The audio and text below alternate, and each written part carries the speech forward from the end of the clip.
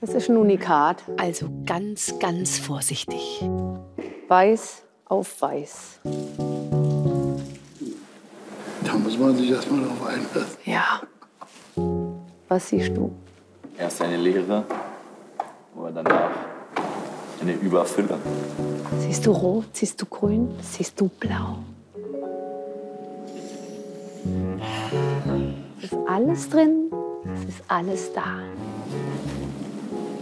Die sogenannte Komplementärmalerei, wenn man mit sich gegenseitig aufhebenden Farben arbeitet und sie ganz tief in den Bildhintergrund einarbeitet. Aber ist irgendwie so wie so eine Reflexion. Reflexion, ja. Im Grunde habt ihr alles verstanden.